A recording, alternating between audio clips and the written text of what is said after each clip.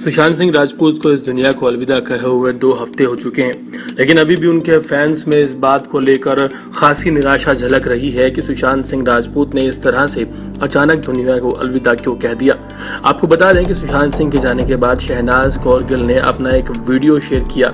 उस वीडियो में शहनाज ने कुछ ऐसी बातें कही जो आपको भी इमोशनल कर जाएँगी। बिग बॉस तेरह में नज़र आ चुकी शहनाज गिल सुशांत सिंह राजपूत से जुड़ी इस खबर को सुनकर बहुत नाराज़ हो गई।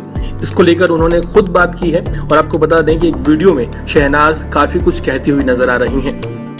अपनी इस वीडियो में शहनाज कहती हैं कि सुशांत सिंह राजपूत राइजिंग स्टार थे और अभी उन्हें बहुत बड़ा होना था। ऐसे नहीं जाना चाहिए था। वो अपनी ज़िंदगी में बहुत कुछ हासिल कर चुके थे और बहुत ज़्यादा कुछ हासिल कर सकते थे। आने वाले समय में वो बॉलीवुड के सुपरस्टार बनते इस बात में कोई शक नहीं था। शहनाज अपनी बात के दौरान ये बार बार कहती नज़र आई कि उन्हें सुशांत के इस तरह चले जाने का बहुत गहरा दुख लगा है। वेल कोई भी हो, चाहे वो आम आदमी हो, सुशांत का फ़ैन हो या कोई सेलिब्रिटी हो, सभी हाल फ़िलहाल इस बात को लेकर सत्य में है कि आखिर क्यों सुशांत सिंह राजपूत ने इस तरह से दुनिया को अलविदा कहा। वही अभी तक इस बात का जवाब नहीं मिला है। इन्वेस्टिगेशन जारी है। लेकिन सुशांत सिंह राजपूत से जुड़े सवाल अभी भी बने हुए हैं।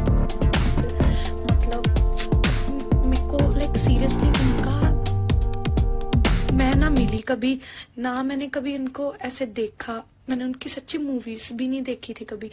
बट मुझे इतना दुख लगा कि लाइक मैं कि खुद नहीं जाना चाहिए था।